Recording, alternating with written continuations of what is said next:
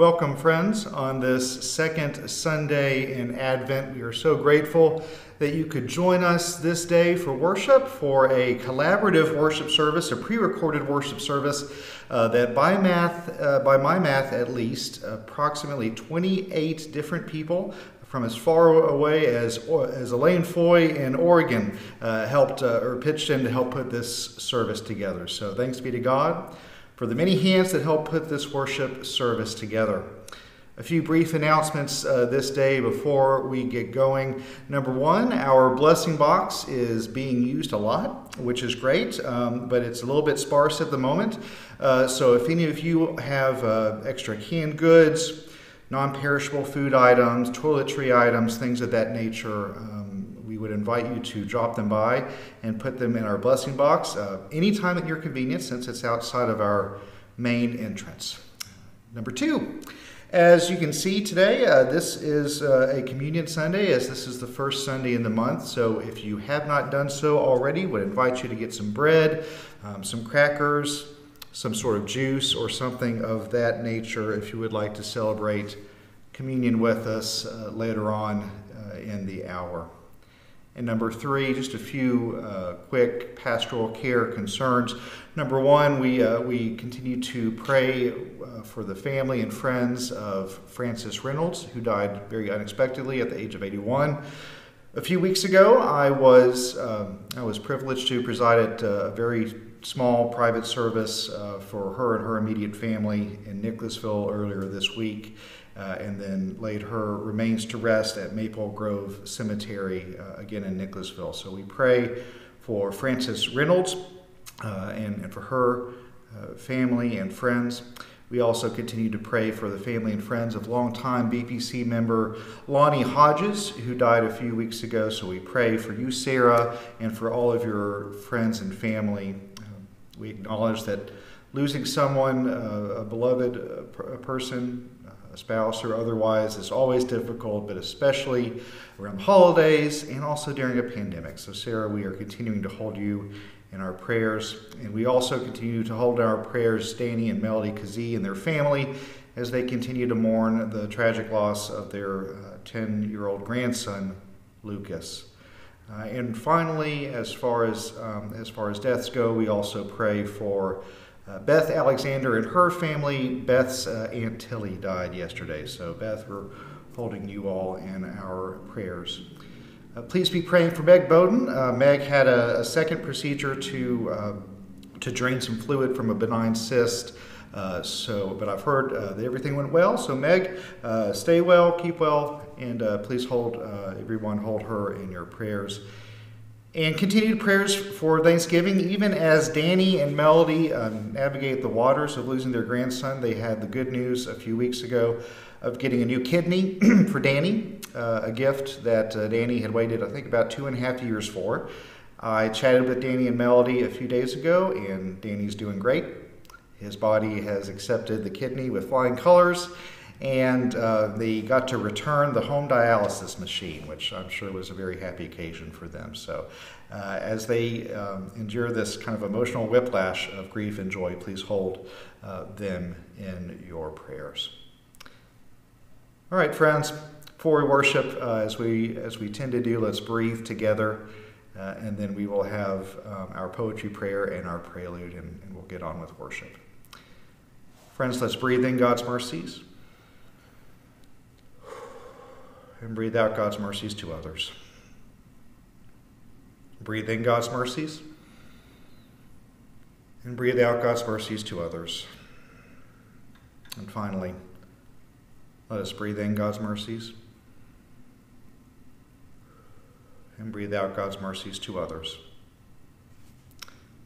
Friends, let us worship God. My dad built me a changing table. For nine months, my mom watched her ankles swell and her belly grow. For nine months, my dad would come home from work, kiss her on the forehead, pressing bangs to skin, and tell her she was beautiful.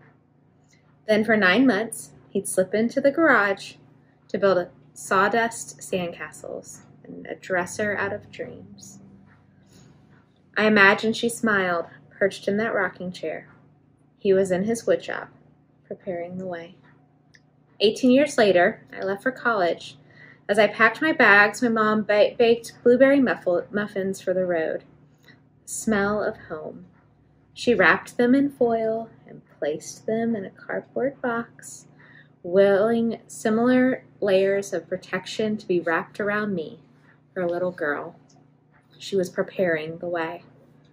My aunts and uncles bought sweatshirts in my new school colors. My dad taught me how to change a tire. My mom gave me the earrings I'd been sneaking out of her jewelry box for the last four years.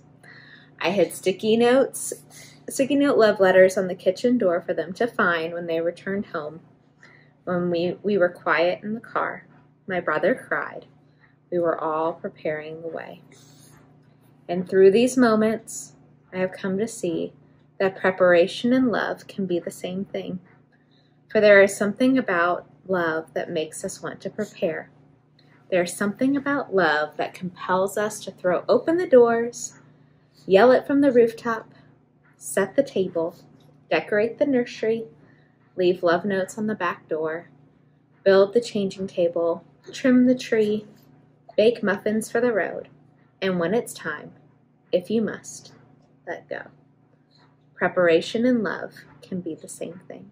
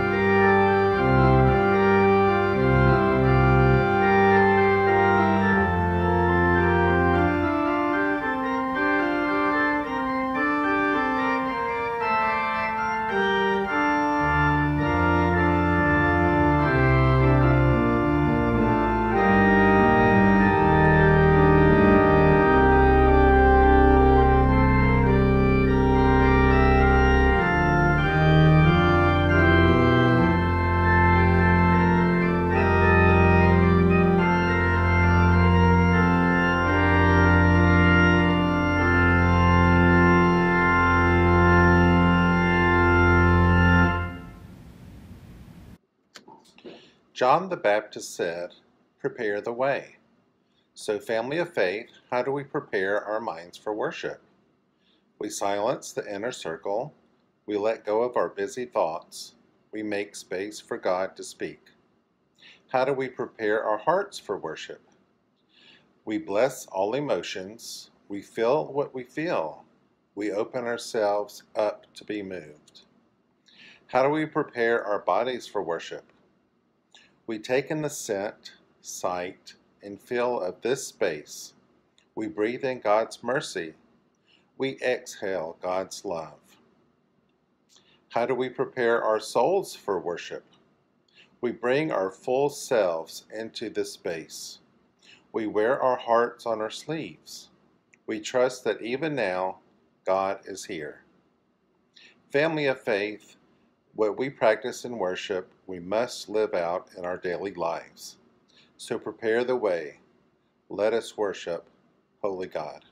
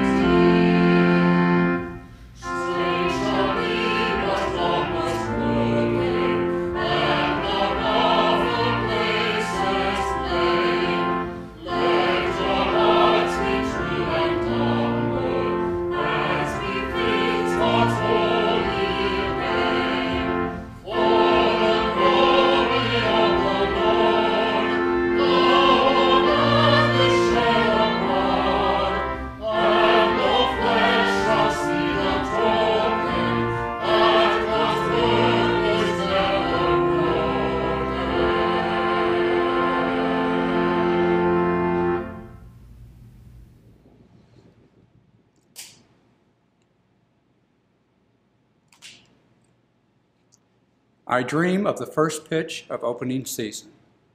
I dream of a laundry day where each sock finds its mate. I dream of family home for the holidays. I dream of good books and homemade meals. I dream of sunset drives with the windows down. These are beautiful dreams, but I also have urgent dreams. I dream of conversations across party lines. I dream of more bridges and less walls. I dream of more laughter and less fear. I dream of more listening and less tears. But most of all, I dream of peace like a river. Today we light the candle of peace. May it remind us that there is another way. Amen.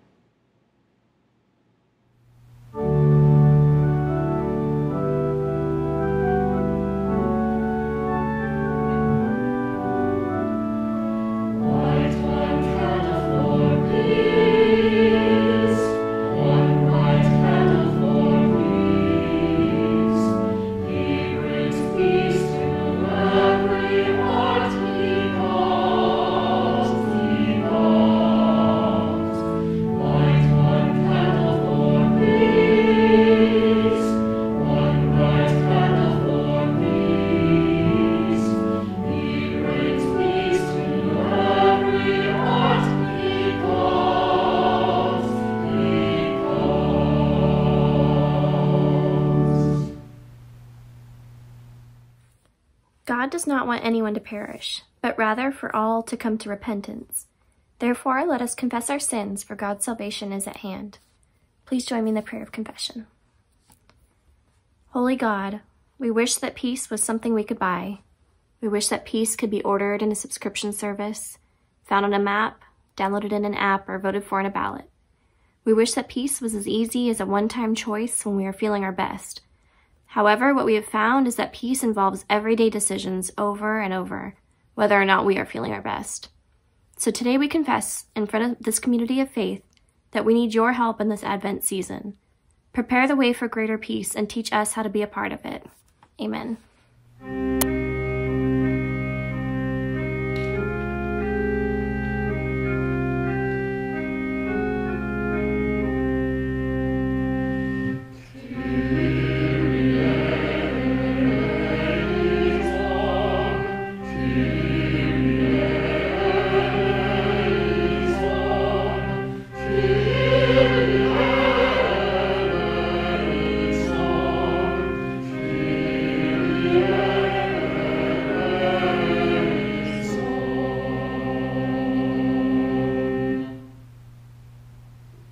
In Christ, by the mercy of Christ, our sins are forgiven, for salvation is at hand for those who turn to God.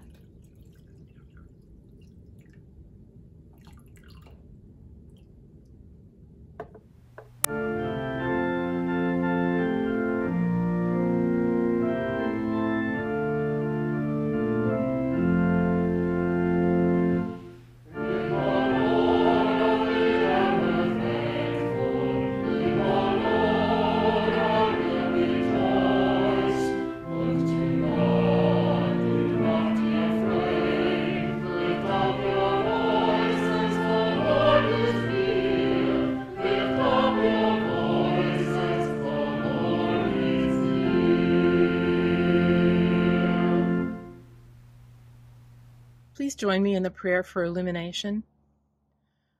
God of peace, we must admit there are a million things on our minds. We would like to be as focused as John the Baptist, preparing the way, gathering the crowd, spreading the word of your arrival. Maybe then we'd know peace.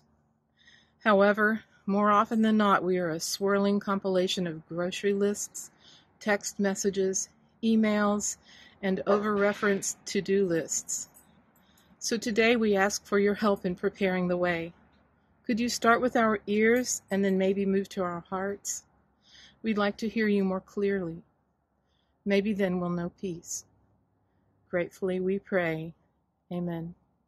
Our first scripture is from Psalm 85, verses 1 and 2 and 8 through 13. Lord, you were favorable to your land. You restored the fortunes of Jacob. You forgave the iniquity of your people. You pardoned all their sin. Selah. Let me hear what God the Lord will speak, for he will speak peace to his people, to his faithful, to those who turn to him in their hearts. Surely his salvation is at hand for those who fear him, that his glory may dwell in our land. Steadfast love and faithfulness will meet, righteousness and peace will kiss each other. Faithfulness will spring up from the ground, and righteousness will look down from the sky. The Lord will give what is good, and our land will yield its increase. Righteousness will go before him and will make a path for his steps. Holy wisdom, holy word. Thanks be to God. The second scripture is from the book of Isaiah, chapter 40, verses 1 through 11. Comfort, O comfort my people, says your God. Speak tenderly to Jerusalem, and cry to her that she has served her term, that her penalty is paid, that she has received from the Lord's hand double for all her sins. A voice cries out, In the wilderness prepare the way of the Lord, make straight in the desert a highway for the God. Every valley should be lifted up, and every mountain and hill be made low. The uneven ground shall become level, and the rough places a plain. Then the glory of the Lord shall be revealed, and all the people shall see it together, for the mouth of the Lord has spoken. A voice says, Cry out. And I said, What shall I cry? All people are grass. Their constancy is like the flower of the field. The grass withers, the flower fades when the breath of the Lord blows upon it. Surely the people are grass. The grass withers, the flower fades, but the word of our God will stand forever. Get ye up to a mountain, high mountain. O Zion, herald of good tidings, lift up your voice with strength, O Jerusalem, herald of good tidings. Lift it up. Do not fear. Say to the cities of Judah, Here is your God. See, the Lord God comes with might, and his arm rules for him. His reward is with him, and his recompense before him. He will feed his flock like a shepherd. He will gather the lambs in his arms, and carry them in his bosom, and gently lead the mother sheep. Holy wisdom, holy word, thanks, thanks be, to God. God.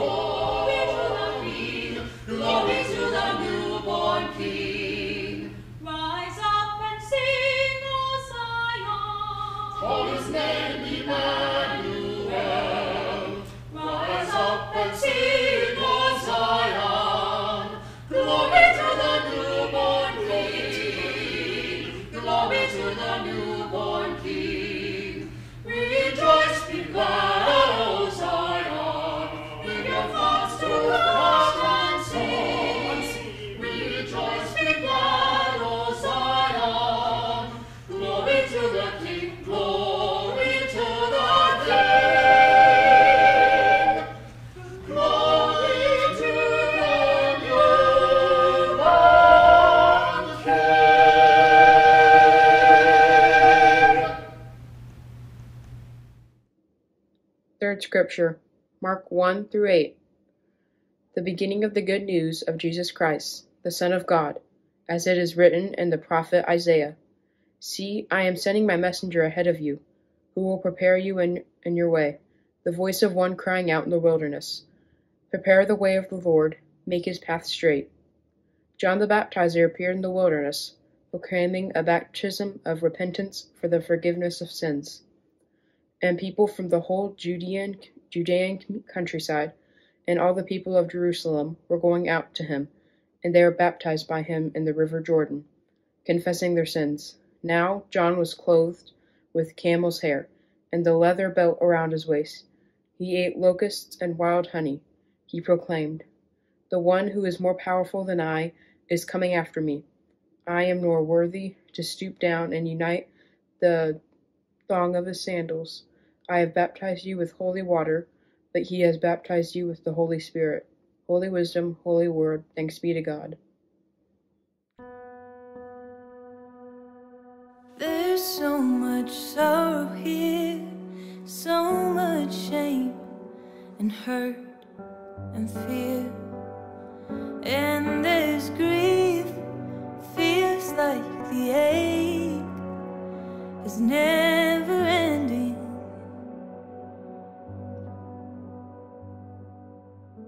The night is long, can't find sleep.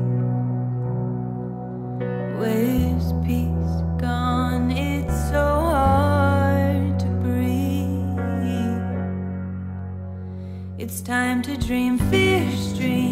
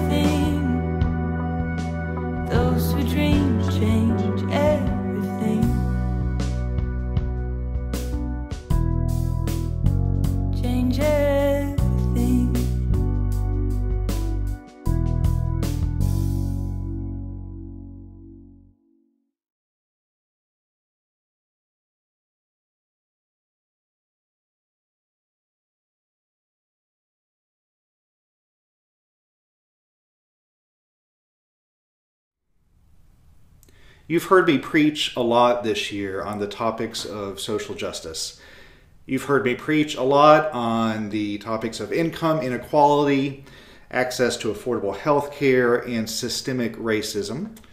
I've brought up on numerous occasions from the pulpit our country's obsession with military spending, and yes, I've spent no small amount of time criticizing the outgoing presidential administration uh, for their oppressive and violent policies.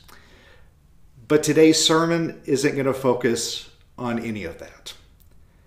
As us preachers stand in the pulpit week in and week out, whether a physical one or a virtual one, we must balance the prophetic with the pastoral. And so I've decided not to preach on the gospel passage uh, today. Uh, John the Baptist, with his wild hair, fiery preaching voice, uh, and penchant for eating bugs, uh, just doesn't sound very comforting to me this week. Uh, therefore, we're going to turn to the Isaiah passage that Doug and Mary McLaren read for us just a few minutes ago. Isaiah is a really big book of the Bible, and it's by far the most robust of the Old Testament prophets. And because it's such a big book and it covers so much territory, it's helpful to step back and remind ourselves of the bigger picture of its message and how it's structured. Although your Bible at home probably shows Isaiah as being just one book of the Bible, most biblical scholars consider it uh, to be three books, or they, they divide it up into three sections um, that are in the following portions. The first book of Isaiah is chapters 1 through 39, and it deals with the events leading up to the Babylonian exile, which happened when King Nebuchadnezzar of Babylon destroyed Jerusalem in 587 BCE, destroying the political independence of the southern kingdom of Judah, and most importantly and, and most devastatingly, taking the Israelites as captives back to Babylon. The second book of Isaiah is chapters 40 through 55 and is sometimes referred to as the book of consolation. It chronicles God speaking through the prophet uh, Isaiah to God's people, comforting them in their lament and promising them that their days of anguish are numbered. And finally, the third book of Isaiah is chapters 55 through 66 and deals with the Israelites' return from the exile. So today's passage comes at the very beginning of the second book of Isaiah. The exile has begun. The Israelites have been taken from Jerusalem and forced into slavery in a foreign land. And this brought with it many theological questions, but the prime one was this Is our God legit? You see, back in those days, when one army defeated another, it was assumed that that meant that the God of the victor was obviously stronger than the God of the loser. So when the Israelites were defeated and taken into captivity by the Babylonians, it caused a severe theological crisis. They wondered, was Yahweh really the one? All those stories that we've been told and shared about Yahweh, were they true or were they all just fake news? In the midst of the Israelites' physical emotional, and spiritual anguish, the prophet Isaiah speaks into the space of their lament, saying these words. Here again, the words of Scripture Comfort, oh, comfort my people, says your God. Speak tenderly to Jerusalem and cry to her that she has served her term, that her penalty is paid and that she has received from the Lord's hand double for all her sins. Comfort, comfort, says the prophet, into a space of grieving, isolation, and pain. Comfort, comfort, says God to God's people who have had their worlds upended and their lives torn apart. Comfort, comfort, says today's text to us who have endured so much this year. Now, I know it's natural uh, that this time of year we all get a little retrospective, spending the time processing the year that's been, and we look forward to the year that's soon to be. Now, as the saying goes, the grass is always greener on the other side, and it's not uncommon these days to adopt a posture of relief that any particular year is over. Um, but obviously, this year has been uh, challenging uh, so much. We've walked together, you and I, through so much this year as a congregation. Our Lenten season was disrupted early with the arrival of COVID 19. And as of today, Sunday, December 6th, it's been 273 days since we've been able to gather together and worship together physically in the sanctuary. 273 days since we've been able to hug one another, shake hands, and greet one another without masks on. 273 days since we've been able to sing hymns together like we, like we used to. Now, if you're anything like me, the past 273 days have tested your resilience. I, for one, was actually rather proud of myself for how I dealt with the first few months of the pandemic. Uh, I was in uh, get her done mode uh, between helping uh, this congregation navigate uh, to new ways of being in community with one another. Uh, to the final preparations before my daughter's birth. I was pretty busy and hopeful, and even some days somewhat excited for the new challenge as a pastor, as a husband, and as a soon to be father. But that was the adrenaline talking. Um, one day turned into a week, turned into a month, turned into a few months, and now here we are. 273 days later, exhausted, grieving, agonizing, longing, questioning how much longer we can endure this wilderness. What some of us foolishly hoped would be a quick sprint has ended up being a seemingly relentless and never ending marathon. Now, this, of course, isn't to say that we didn't always have our challenges before the pandemic, but at least then we could gather physically to encourage, uplift, and support one another. Um, we've, we were very blessed to have the technology that allows us to do this uh, in other ways of gathering, but try, though, as we might, to convey compassion, sympathy, and love through the phone or over Zoom meetings or from the camera lens to your screen wherever you're watching this, there are just limitations to the amount of intimacy that technology can offer. So, if you're anything like me, we're just crying out for something to change. We just need something, someone, anything to upset our new normal and bring some sort of relief. That too was the feeling of the Israelites when they found themselves in their particular brand of exile. And so the prophet continues with these words. A voice cries out in the wilderness, Prepare the way of the Lord, make straight in the desert a highway for our God. Every valley shall be lifted up, and every mountain and hill be made low. The uneven ground shall become level, and the rough places a plain. And then the glory of the Lord shall be revealed, and all people shall see it together, for the mouth of the Lord has spoken. These words comfort me these days because it reminds me that even though it may not always look like it, that God has the ability to interrupt places of stagnancy. That God's glory can and will be revealed for all of us to see despite the rough edges of our lives or the valleys in which we find ourselves. Today's text speaks words of comfort to those of us who are navigating valleys of all kinds. Valleys of experiencing the holidays for the first time since the death of your parent, your brother or sister, your child, or even your grandchild. Valleys of spending the holidays alone for the first time in your life. Valleys of living by yourself these days and not having the human contact that you were used to before the pandemic. Valleys of being utterly exhausted by the never ending responsibilities of being a parent uh, during a pandemic. Valleys of living with mental illness and finding the struggle to maintain self care uh, even harder than it was before the pandemic and valleys of witnessing the deaths of those you love and not being able to attend their funeral, if even there is one, because it's just not safe. The valleys are plentiful, but so are the ways that God can make the rough places a plain.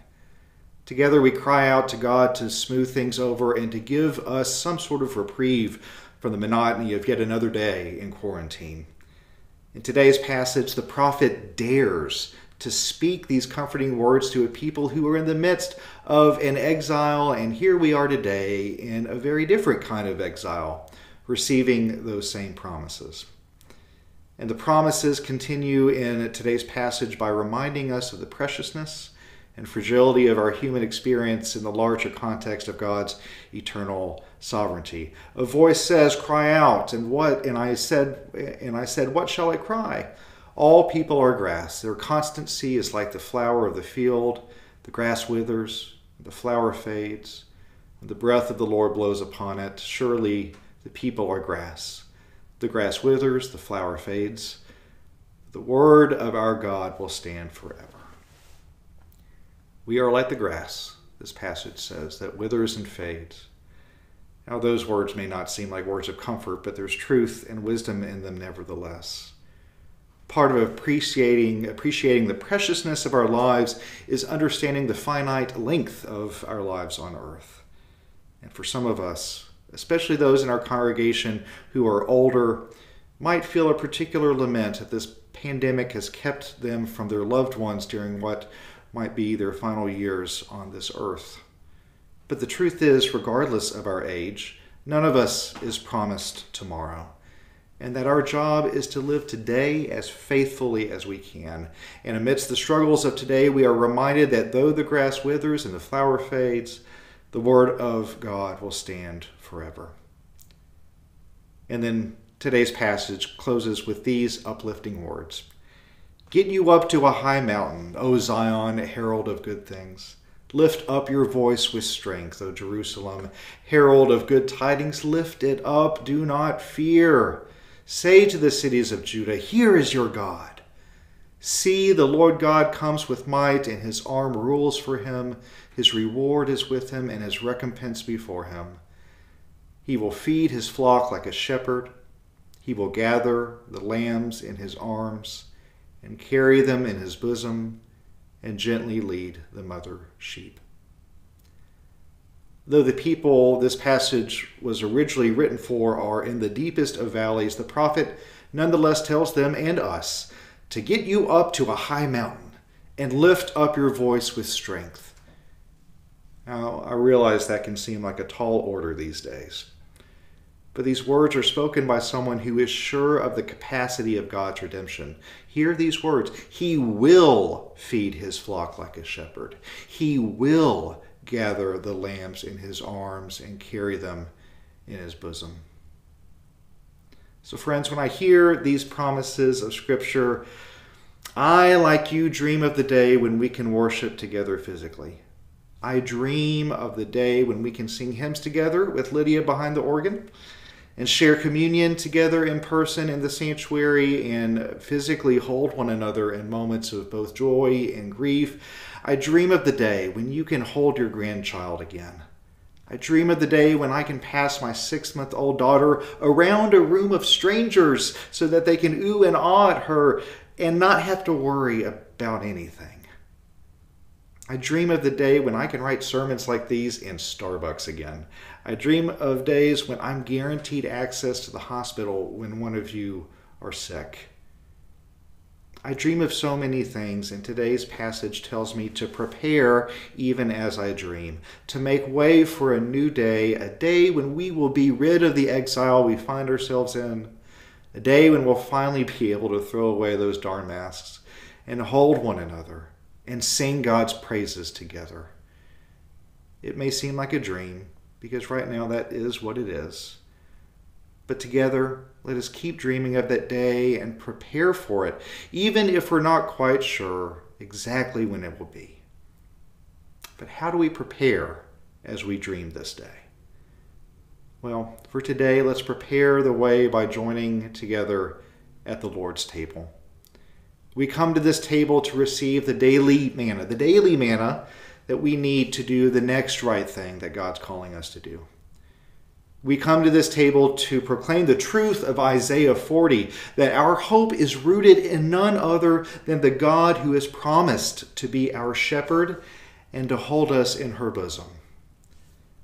Commentator Glenn Bell describes today's passage as the following Isaiah 40 is like a cool drink on a sweltering day a lover's embrace after a long separation, a powerful promise that transforms our perspective.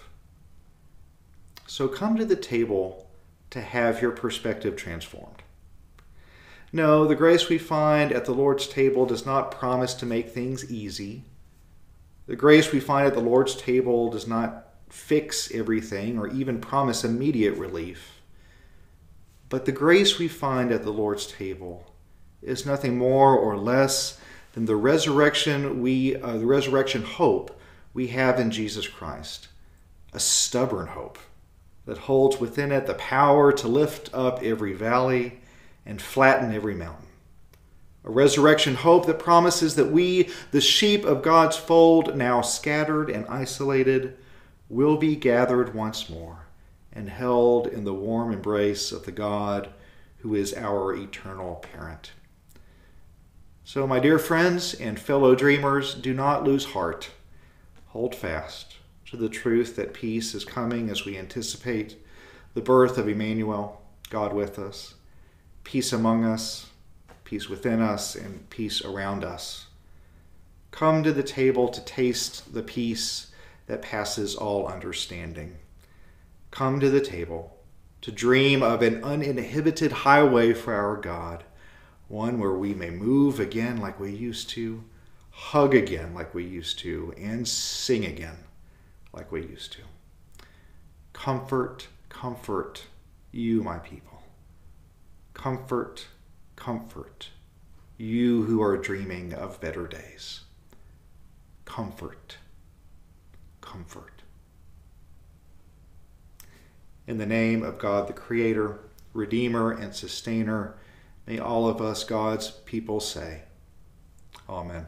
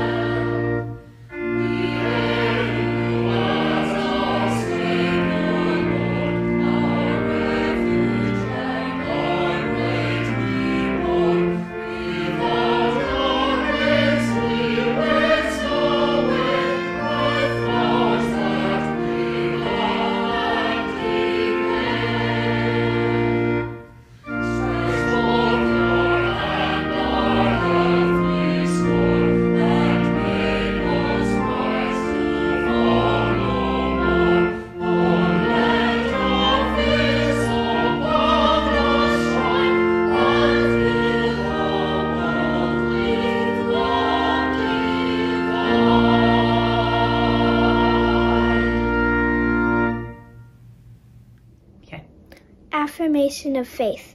We believe that a voice cried out in the wilderness, saying, Prepare the way of the Lord. And so we show up for worship, even from home.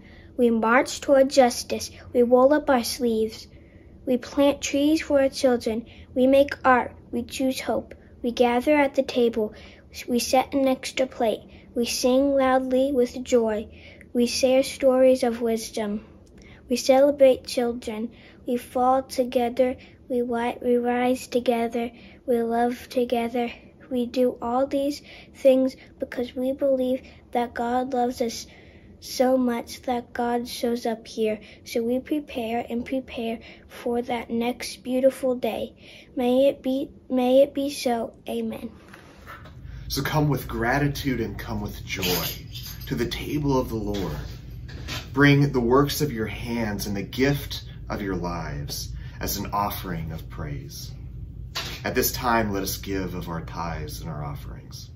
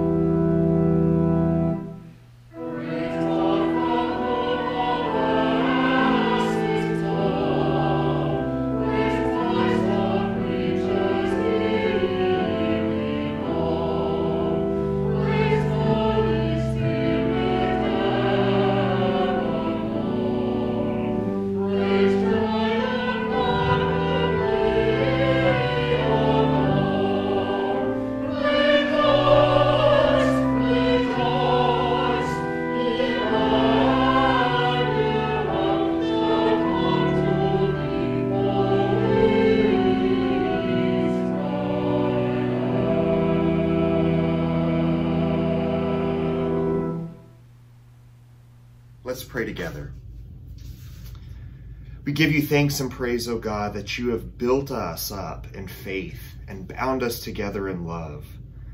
By your grace, may all that we do show the glory of your name and serve the good of your people through Christ Jesus our Lord. Amen. Friends, welcome to this table. This is not my table, it is not a Presbyterian table, it is the Lord's table. And it is the place for those who dream. So, wherever you are, know that through the power of the Holy Spirit, this table extends from this uh, beautiful sanctuary into your homes or wherever you are participating in this service. And know that you are welcome uh, to participate and celebrate with us using whatever elements you have at your disposal. I would invite you to uh, join me in the prayer of great thanksgiving that you will find uh, printed in your bulletin. Friends, the Lord be with you. Lift up your hearts. Let us give thanks to the Lord our God. Let us pray. Holy God, great dreamer, how wondrous are your deeds. You created the world and all that is in it. With a mighty arm, you parted the waters and led your people to liberation. And when we were in exile, you gathered us up in your bosom and led us home like a mother sheep. When we were mistreating our own, you sent prophets to set us right. You pulled down the arrogant and lifted up the weak. And when the time was right, you sent Jesus to set us free. Now send us again your life giving Spirit and recharge your promise within us, for we are eagerly awaiting our Savior to come again from heaven.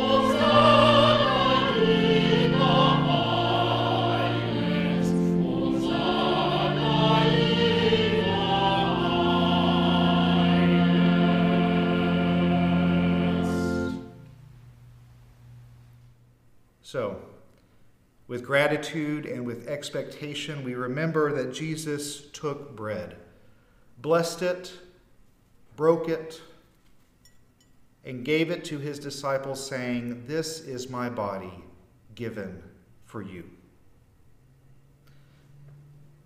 And so also, we remember that Jesus took the cup, saying, This is the new covenant of love and grace poured out for you and for many. Do this in remembrance of me. Now, as we wait for him to come again, O God, stir up your power and restore us by sending your Holy Spirit to infuse us with hope in the great mystery of faith.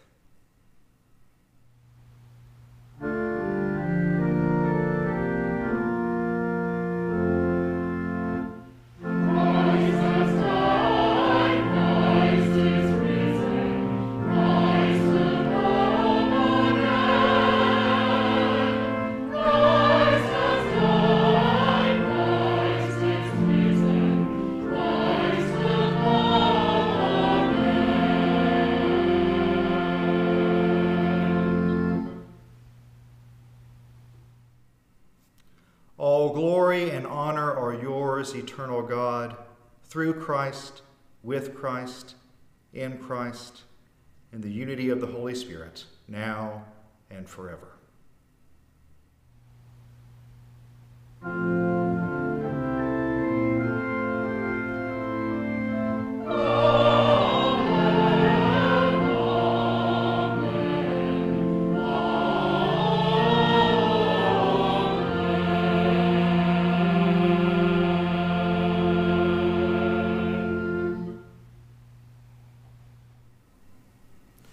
Friends, come to the table. There is nothing you need to do or not do, nothing indeed that you can do or not do that would prevent you from being welcomed to this table. So, as we live through these difficult and uncertain days, let us dream together for a new world. Let us dream for the time when God will, uh, will rescue us from this exile and bring us back together again. And today, I hope that what you find at the table is the grace that you need to get through this day, to do the next right thing, and to live as faithfully as you can. So, friends, come, for the table is set.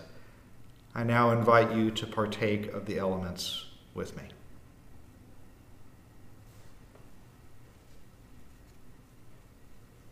Friends, this is the bread of life.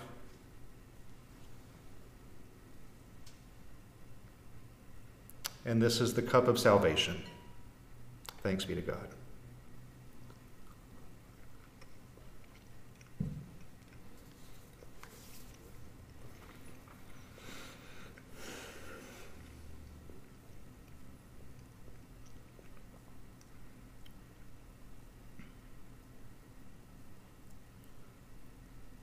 Friends, let us pray.